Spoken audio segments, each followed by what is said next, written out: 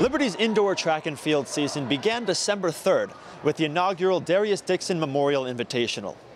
Dixon was a freshman sprinter who tragically passed away last season in a car accident. The events were spread out over two days. The first centered around the pentathlon and heptathlon, while the second contained most of the running events.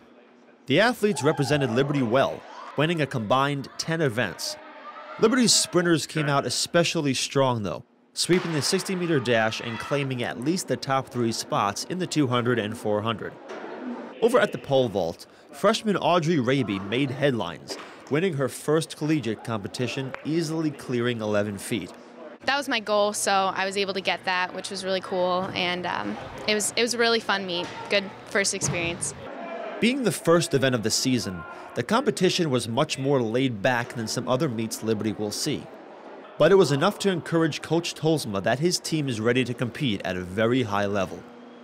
We, ha- we have a well-rounded team. That's, that's, that's a positive thing. I think every event we have two or three or four people that should uh, be able to contribute at least at the conference level. The team will now take a long break from competition. The next event coming January 16th, 2015. That one as well will be right here in Lynchburg. Reporting for Game On, I'm Tori Abrahamson.